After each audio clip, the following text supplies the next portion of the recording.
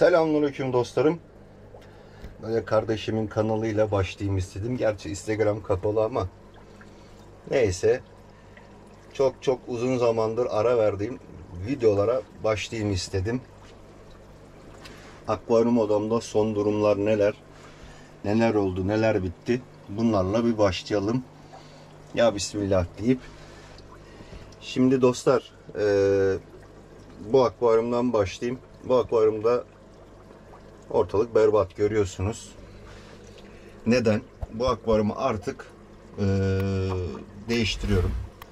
İçindekileri falan hep boşaltacağım. Kumunu falan değiştiriyorum. Çünkü burada kumlar aldım. Ama tabi biraz daha zamanı var. Neden? Çünkü burası çok sıcak oluyor. E ben de çok terleyen bir insanım. Onun için biraz daha havaların soğumasını bekliyorum. Ee, ama tabii ben de her zamanki gibi belli olmaz. Belki hemen yarın başlayabilirim ama şu an için beklemedeyim. Ufak ufak e, içindeki bitkileri çıkartıyorum. İşte balıklar gitti. İçinde birkaç tane lepistes bıraktım. Onu da diğer akvaryumdan aldım.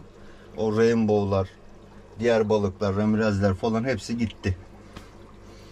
Ee, bitkiler çoğu gitti. Böyle abuk subuk bir akvaryum kaldı.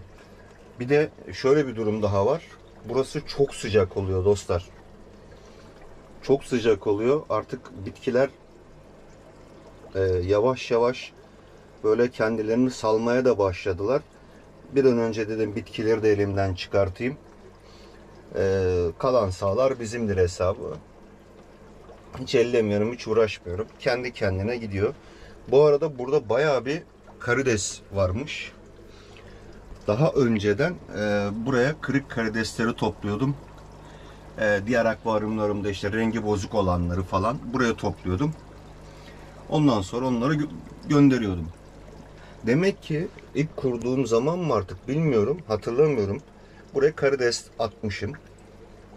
Ama burada şimdi e, siyah güller, mavi melekler, sakura falan böyle karışık bir e, karides popülasyonu oluşmuş. Rainbow'larda gidince karidesler ortaya çıktı. Bitkileri falan da çıkartınca ortaya çıktı. Baya bir karides varmış. Ondan sonra buraya gelin. Burada evet ismini hatırlayamadım. Yine bir an durduğumda ismini düşündüm ama hatırlayamadım.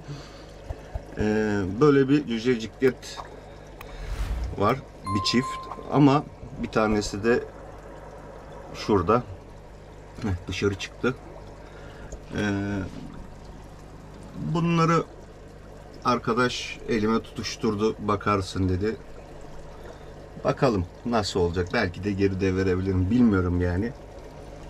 Ondan sonra e, şimdi Pala, e, Paladaryum'un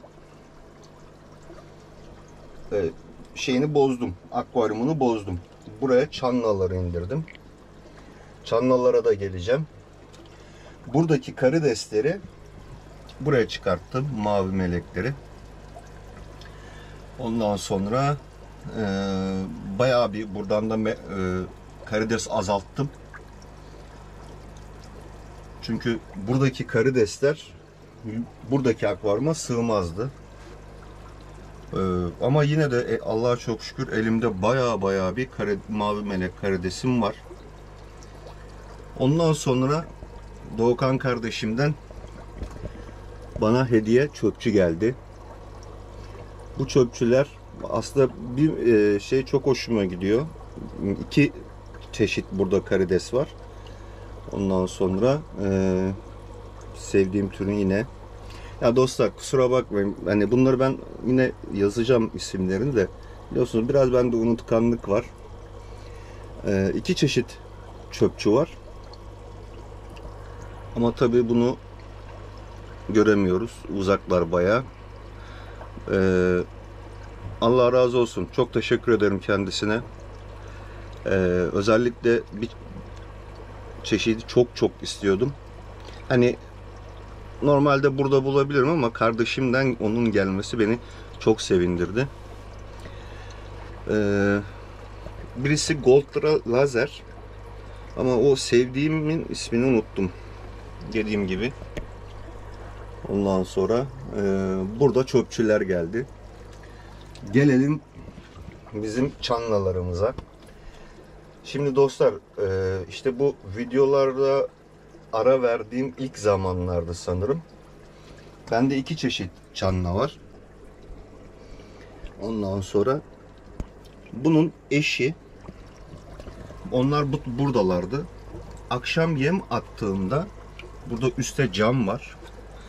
Ee, camı aralık bırakmışım. Ama hani farkında değilim. Bu tarafı kapatmışım. Bu taraf ama böyle bir parmak genişliğinde bir ara vardı. E tabi o zaman da bu kadar da büyük de değillerdi. Ee, hatta bizim Elma Tayfa grubuna videosunu böyle çekip göndermiştim. Onu bulabilirsem videonun arasına da koyabilirim. Buradan atlamış. Tam şurada yerde sabah buldum. Ee, bayağı bir üzüldüm. Ondan sonra e, Doğukan kardeşim Çanlaları çok seviyordu. Ona böyle bir sürpriz yapayım istedim. Bu e, Temmuz ayının o sıcak günlerinde ben otobüste yanında birkaç bir şey daha vardı. Bir tane çanla gönderdim. Buradan. O da bunun eşiydi. Şöyle söyleyeyim. Bunların ikisi farklı tür eşler. Aynı tür eşler birbirlerine anlaşamıyorlar ama bu iki ayrı tür e, birbirine çok güzel anlaşıyorlar. Ara sıra şu agresiflik yapıyor ama o da şeyden kaynaklı. Yani böyle çok sıcak oluyor veya karnı çok acıkıyor. O zaman e, bir agresiflik yapıyor. O da çanlalarda normal zaten. E, yaptığı agresiflik de sadece bu. Şu an gördüğünüz agresiflik. E, o kadar fazla şey yapmıyorlar ama iyi de anlaşıyorlar. Birbirlerine sürtünmeler, işte e, böyle kur yapma gibi hani o anlamda kur değil ama e, ne bileyim çiftleşme kuru falan değil. Ondan bahsetmiyorum. E, böyle böyle garip garip sevimli hareketler yapıyorlar yani. Gayet güzel anlaşıyorlar. Her neyse dediğim gibi bunun eşini Doğukan kardeşime gönderdim. Yanında birkaç bir şey gönderdim. Otobüste e, dayanamadı sıcağa. Büyük bir ihtimal biz öyle düşünüyoruz. O da orada öldü. Ve o zaman e, da çok üzüldük. Hatta Doğukan kardeşim o baya baya bir üzüldü. E, keşke göndermeseydin abi dedi. Ya biz de, ben de dedim ki nereden bileyim yani. Ben sana bir sürpriz yapayım dedim. Ama olmadı. Diğer balıklarda herhangi bir sıkıntı yok. Gönderdiğim diğer balıklarda veya karidesler falan göndermiştim. Bitki göndermiştim. Onda bir sıkıntı yok ama sakınan göze çöp kaçar misali. En çok istenilen balık yolda öldü. E, poşette herhangi bir sıkıntı da yok. Hiçbir şey yok yani. Ve hani çanlarlar e, hasta falan da değil. Zaten şöyle ben bir şey e, düşünüyorum. Çanlaları hasta yapmak çok zor. Gerçekten çok zor. E, çok şaşırtıcı bir canlı. Mesela bazen dediğim gibi bu özellikle Temmuz ayında e, bayağı o sıcaklarda artık o sıcaklardan agresifleşiyorlar. O zaman bayağı bir sert kavgalar oldu. E, kuyruğu şu şu balığın kuyruğu taç beta gibiydi yani. Ve birkaç gün içerisinde o direkt düzeliyor yani. Ee, çok ilginç. Ee, dediğim gibi her şeye dayanıklılar. Ben çok sevdim yani çanlaları bu konuda. Ee, ondan sonra burada yeni bir beta aldım. Ama betam çok güzel. Maşallahlarınızı eksik etmeyin dostlar. Bu erkek olan. Bu da dişi. Dişi biraz ufak. Ondan dolayı şu an e, canlı yemler falan filan hemen böyle bir toparlama evresine sokmaya çalışıyorum. Şu e, sıcaklarda belki böyle bir yavru alma deneyimi yapabilirim. Ama tam her şey bu dişiye bağlı yani. Tam net değil. Her şey bu dişiye bağlı. Ama erkeğin Gayet güzel. Ben erkeğimi de çok e, severek almıştım. Ondan sonra gelelim bu akvaryuma. Dostlar bu akvaryum artık e, beni boz diyor yani. Bitkiler iyice birbirine girdiler. E, bayağı bir yoğunlaştılar. Bu ağaç figürlerin altında kalmaya başladılar. Oradakileri söktüm, çıkarttım. Hatta burada, buralara, şuralara falan attım. Hatta yine buralarda falan hep böyle e, bitkileri dağıttım. E, Doğukan kardeşime gönderdim biraz. Bu kapelandralardan, e, anabiaslardan, javafernlerden ondan sonra e, artık bitkiler de tamamıyla böyle gölgelik gibi olmaya başladı. İşte biraz böyle ağaç figürlerinin altından biraz toparladım toparladım ama e, bu tarz akvaryumlarda artık bu tasarım akvaryumundan da çıktı. İyice birbirine girdi her şey. Yani bu tarz akvaryumlarda biraz e, zaman kısıtlı oluyor. Ha, bu da bir de şöyle bir şey var. Bakım da çok önemli. Ha, bakarsanız daha da uzun zaman şey yapıyor. E, gidiyor. Ama e, ya yem atıyorsunuz. Örnek veriyorum. Balık yiyemiyor. Kayaların arasına kaçıyor.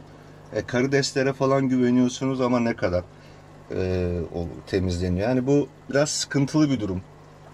Bu da sıkıntılı olan e, şeylerden bir tanesi bu yem dediğim anlattığım olay.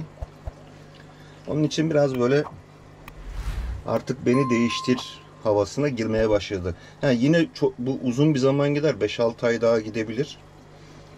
Ama risk atmaya ne gerek var? Ya gerçi değiştireceğim diyorum ama ne zaman olacağı da belli değil yani. Hani ilk önce daha buna başlamadım. Ee, buna başlamadım. Buna nasıl yapayım bilmiyorum. Bakalım bunu da tekrardan bozacağım. Yine gelelim buradaki akvaryuma. Burada da e, bitkiler iyice birbirine girdiler. Ee, bu arkadaki sazlarda falan bozulma oldu. Ee, hem sıcak hem ışık alamadılar. Ya bir dönem iyice saldım dostlar. Yani bunu e, kendimde suç yok diyemem. Biraz bende de suç var. E, ama sonradan Allah'ın izniyle ufak ufak toparlanırlar. Baya böyle bir sıkıntılı bir durum var yani sazların olduğu bölümde, sazlarda ve sazların olduğu bölümde. Ama Allah'ın izniyle toparlanırlar. Ee, bitkiler iyice birbirine girdi zaten. Bu arkada e, kriptolar var. Ondan sonra onlar bayağı böyle bir sıkıntı oldu. Ee, yayılım yapıyorlar ama büyük yapraklar artık e, altta kala kala kala kala geçenlerde böyle bir temizleme yaptım da bu kadar e, iyiler yani. Biraz böyle toparlanır gibi oldular. E, yoksa iyice birbirine girmişti. E, yapraklarda bayağı bir eksiltme yaptım. Yoksa başa çıkılmayacaktı yani. Ha, burada güzel bir şey e, oldu. Ee, nerede? Evet bu vatoz dişim. Bir tane daha dişi vatoz var. Bir tane de erkek var. Ee, erkekle bu dişi vatoz yavruladılar dostlar. Böyle minik minik yavrularım dolaşıyor ortalıklarda. Şimdi göstereceğim ya görünmezler. Evet neredesiniz canlar?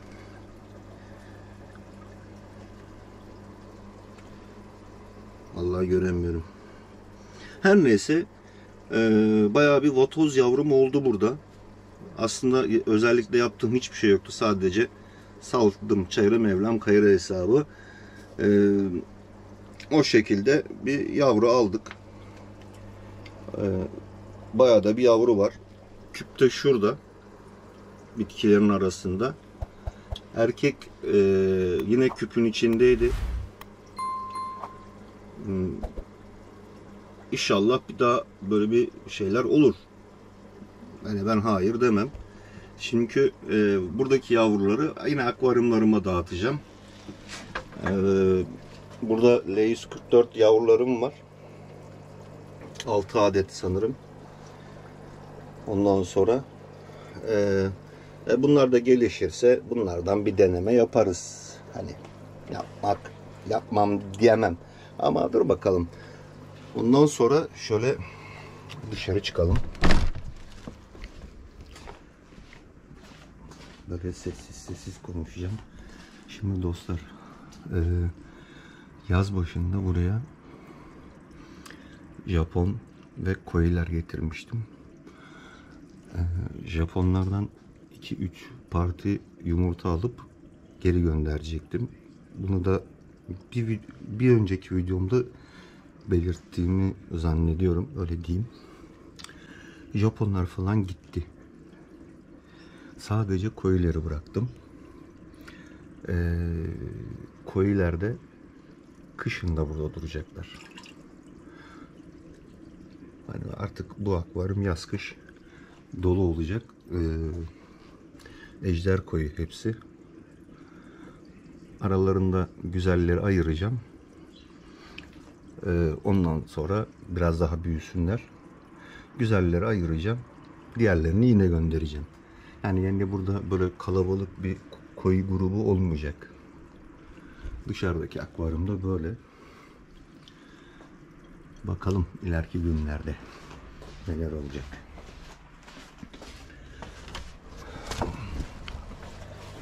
Yani dostlar akvaryum odam son durumlar böyle. Koyuları e, yine biraz daha aydınlık bir zamanda daha da net anlatırım size.